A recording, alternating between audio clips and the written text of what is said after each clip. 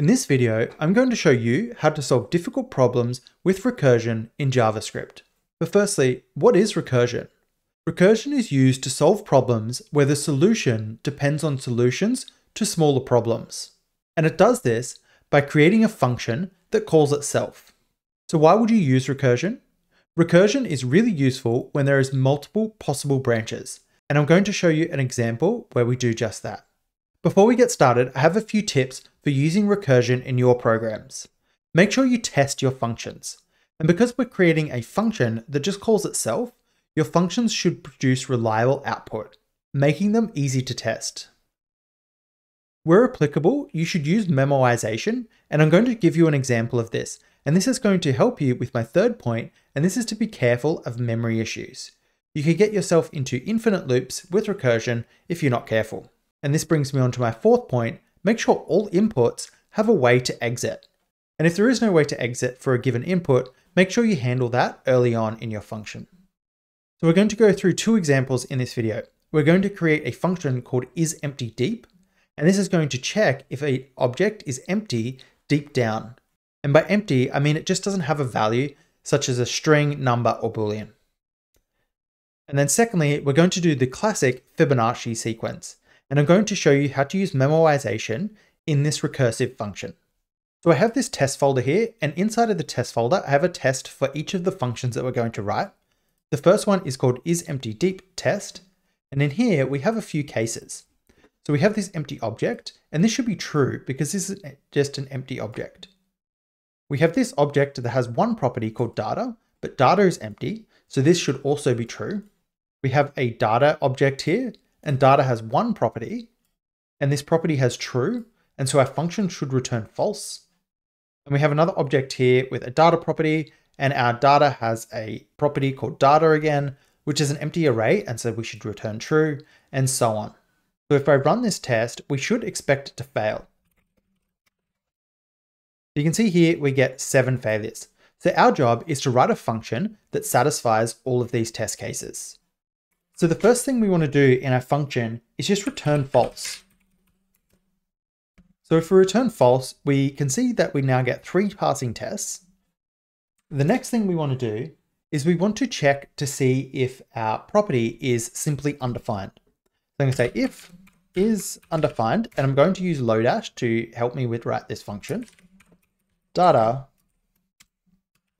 then return true. So if the data property passed in is undefined, we're just going to return true.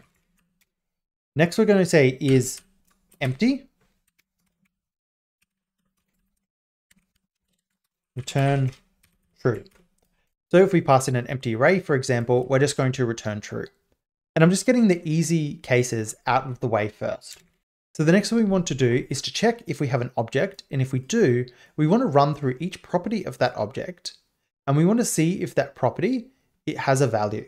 And if it does, then we can simply return false.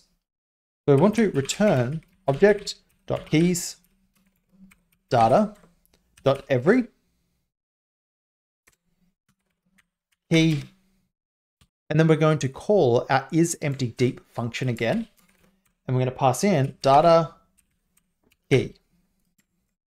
So we're almost there. The problem is is we're not actually checking to see if we have any values so we're going to come up to the top again, and we're going to say if is string data, then return false.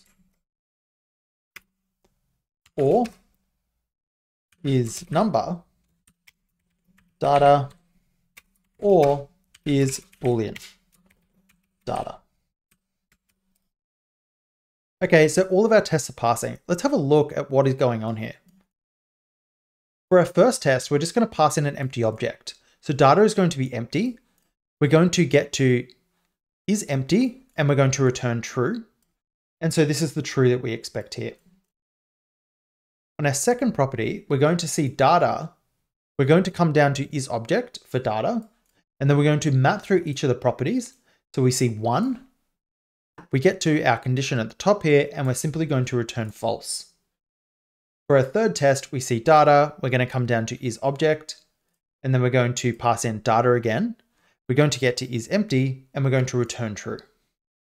So you can see that by using recursion, we can go off onto multiple branches of logic, making our function much more versatile.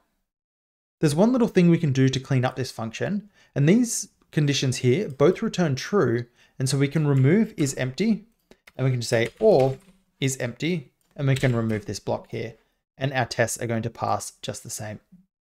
Let's have a look at our Fibonacci sequence. We have a bunch of tests here, so given the input 0, we should expect a result of 0. For 1, we should expect a result of 1.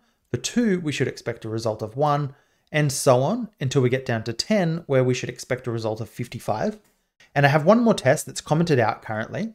And this is because without memoization, running our Fibonacci function with 100 iterations is going to be extremely memory intensive, and our function will never actually finish executing.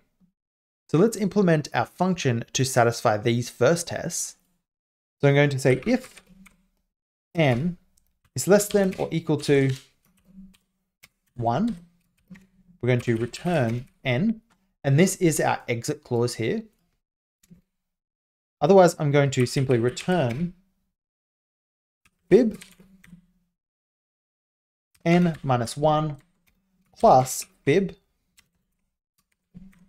n minus 2. And you can see that all of our tests are passing now.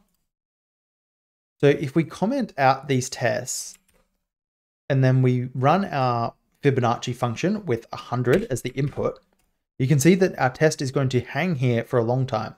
And that's because we're just running through the Fibonacci function over and over again to calculate the result of 100. Let's exit this test if we can. So to fix this, we can use a technique called memoization. And what memoization is going to allow us to do is if we calculate the result of this function here, we don't need to calculate it again. We can simply pass that result on through each call of our fib function. So to do this, we need to provide two arguments now to fib. One is called memo, and we're just going to default this to an empty object. Secondly, we need to ask, do we have n inside of memo? And if we do, we can simply return memo n. So I'm going to say if memo n return memo n. And if we don't, then we need to say memo n is equal to, and we can return memo n. So the next thing we need to do is to make sure every call of fib now gets the new version of memo. And so we can pass this in as the second argument. Now let's try run our test again. And you can see that our function actually runs now and we can calculate the Fibonacci number of some really complicated numbers. In both of these tests, you can see this one passed in 31 milliseconds and the next one passed in 4 milliseconds. If you enjoyed this video, please make sure you leave a thumbs up and subscribe to make sure you get notified whenever I release a new video. Thank you for watching and I'll see you in the next video.